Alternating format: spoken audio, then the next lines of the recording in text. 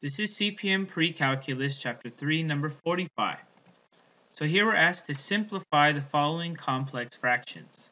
Alright, so a quick math note, right? We have a math note here. So let's take note of the preceding math note. And this is talking about simplifying complex fractions. So their example is a over b divided by 1 minus 1 over a.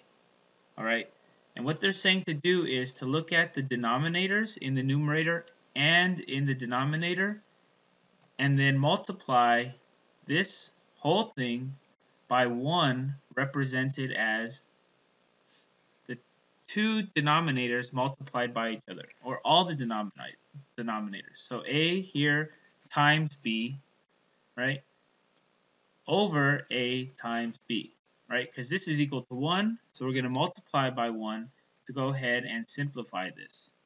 All right, so when we do that, we're going to get in the numerator a over b times ab, right? Because when you multiply fractions, you just multiply across the numerator and denominator.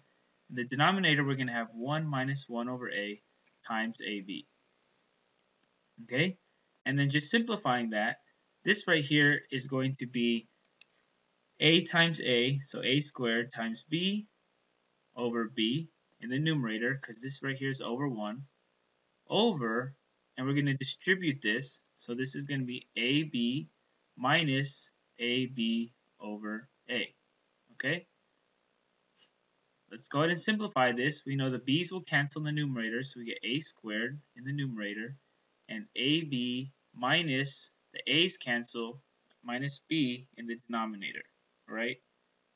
So a squared over ab minus b is um, the simplified version, okay?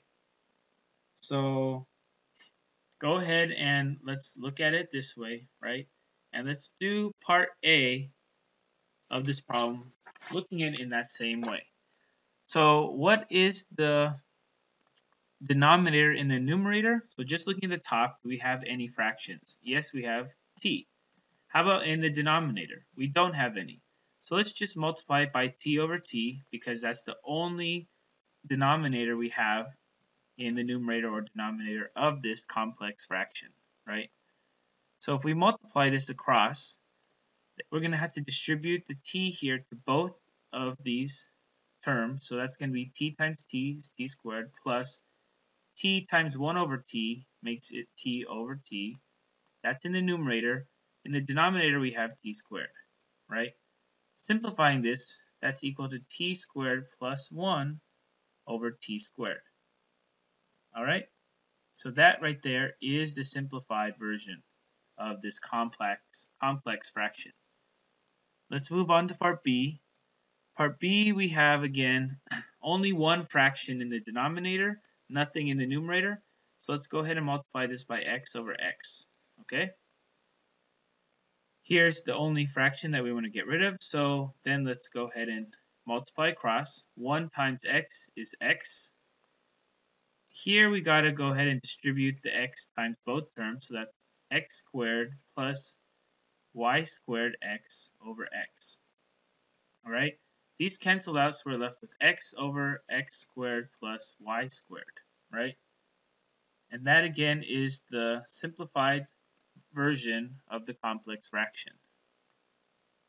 Part C, we have, um, here we have a fraction divided by a fraction, right? right? One way to do this is going to be using the top fraction, square root of 3 over 2, and multiplying by the reciprocal. Reciprocal of the denominator is 2 over 1. This is equal to square root of 3 times 2 over 2 times 1 is 2, right? And we see 2 over here cancels, so it's just square root of 3. If, we if we do it this other method, we're going to multiply this by what's in the denominator, 2 over 2, right? That's just 1, so it doesn't change anything. When we multiply this, we get 2 times that, which is going to be square root of 3 times 2, with 2 in the denominator, all over this is going to be multiplied by the 1, so it's 2 in the numerator over 2 in the denominator, right? So that's going to give us 2 and 2 cancel out, so that's 1. 2 and 2 cancel out, so that's square root of 3. If we simplify this, that's just square root of 3, right? So either way we did it, we got square root of 3 for part C. And there are many ways to do many problems, so we're okay with that. Finally, part D, we have again just one fraction, and that's in the denominator. So let's go ahead and multiply by 2 over 2, right? Multiply across, 1 times 2 is 2. Multiply these, remember this is over 1, so we're multiplying the numerator here. It's just square root of 2 times 2. Denominator is 2 times 1 is 2. 2's cancel here, so we get 2 over square root of 2. Okay? The only thing we need to make note of here is oftentimes, um, or it's, it's standard to not allow square roots in the denominator. So one way to fix that is to multiply by the square root in the numerator and denominator. Okay, so to simplify this, we have to do this extra step. Okay, I'm going to even write it again in green to know that this is something extra. Okay, and it is necessary to simplify it. So we multiply this across, we get 2 square root of 2 in the numerator, and multiply this across, we get 2 in the denominator, right? And that is going to give us just square root of 2. Okay? Alright.